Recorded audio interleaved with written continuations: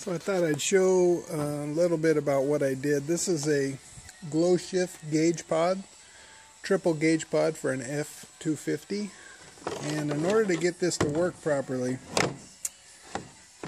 because when you put this on here, you're going to notice that it doesn't really line up perfectly and there would be a secondary, the factory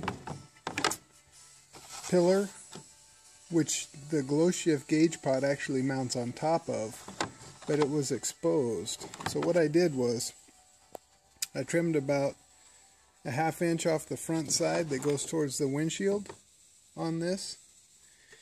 Then I put uh, three screws that came with the GlowShift gauges and I also glued it because you'll notice when you put this in and actually mount it into the truck uh, the GlowShift portion was bulging in three different places here. So by gluing it, it's going to give it a nice clean look. So I'll go ahead and uh, mount this in and then I'll come back and show you uh, what we have. Actually, I'll just give you a little.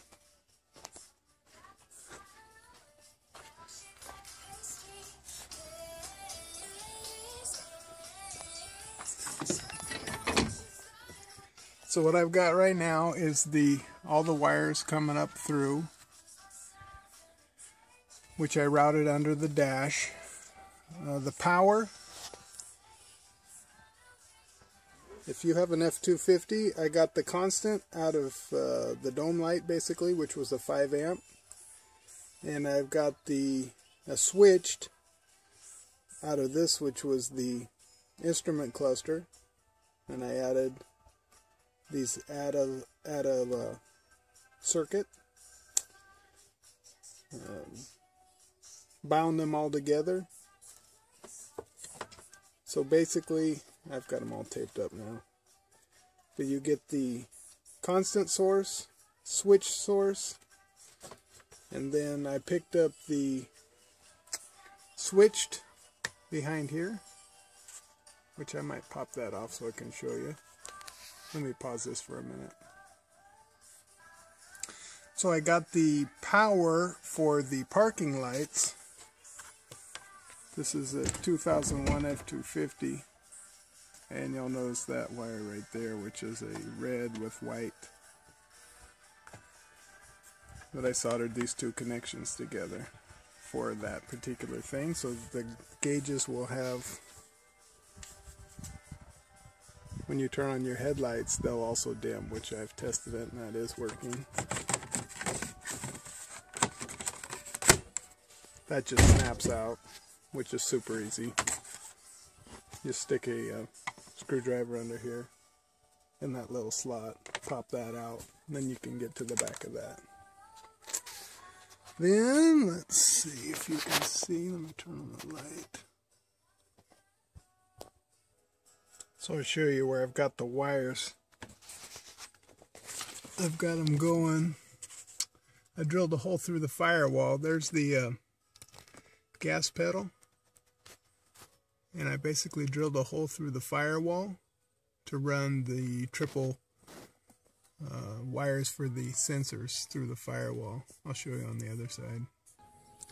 So you can see the wires coming through there. This big one on the top, that's running uh, my amp. So I already drilled that a few years ago, and then I drilled another hole below that. Half inch hole, put a grommet in there, and ran my wires through there. And you can see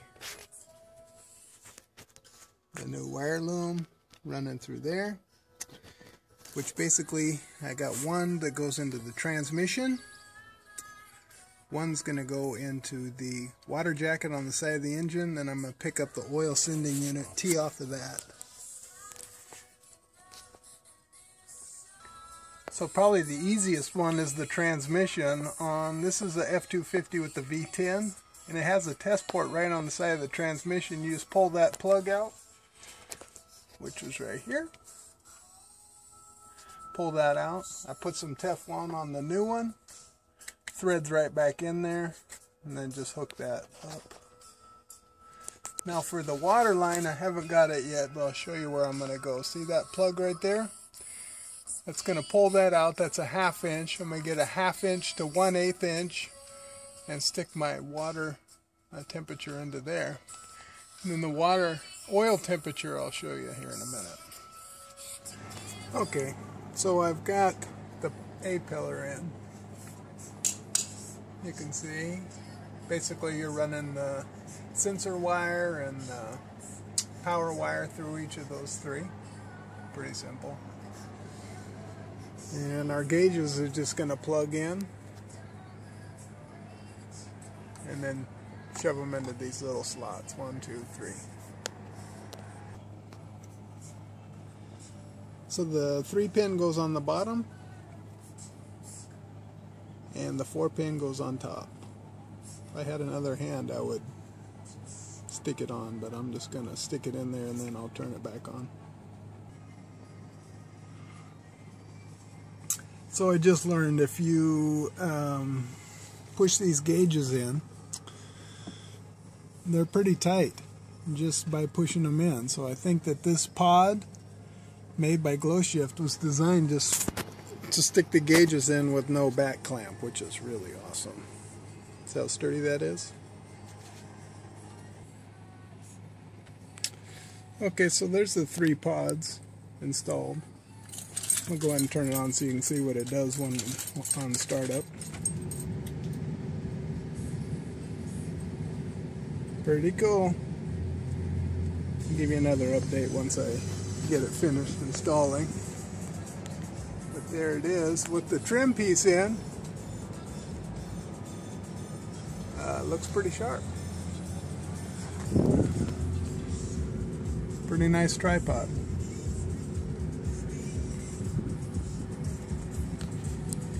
Okay, so I'm going to finish up this video. I was able to put the rest of the sensors on. Now in this particular install, we have a transmission temperature, um, engine temperature, and oil temperature are the three gauges that I wanted. So the transmission I showed you the other day, I was able to get the temperature sensor and I wanted to show you where we were able to put that on the side of the block. Let me go down here. Sorry for the shaky video. So right there on the side of the block, we were able to put the temperature sensor on a V10, just uh, behind the oil filter.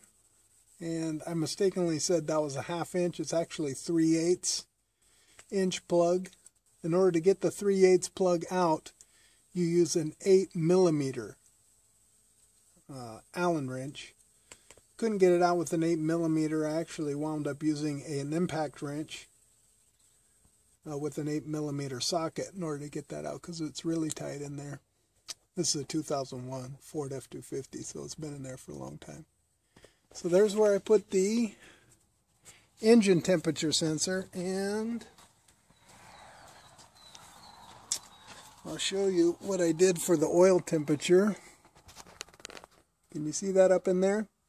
That's a quarter inch. So it's a quarter inch nipple going into a quarter inch T.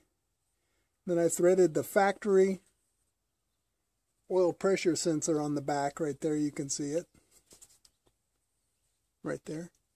And then uh, the oil temperature sensor. I had to use a quarter inch to eighth inch reducer and then screw the eighth inch temperature sensor on the back of that. Now if you wanted an oil pressure sensor aftermarket, you could thread that on the back of that as well. Or if you wanted all three, you could use that same fitting for that. So again, this is an F250. This particular machine has a 12 inch lift, so that made uh, getting under there a little easier. But if you want to use a, a max toe was what I used. Max toe gauge set triple gauge set. Went ahead and put the sticker up there. This is my work truck. And we put these gauges on because I wanted to know what those temperatures actually were instead of the idiot lights and gauges that Ford gives you. Thanks for watching.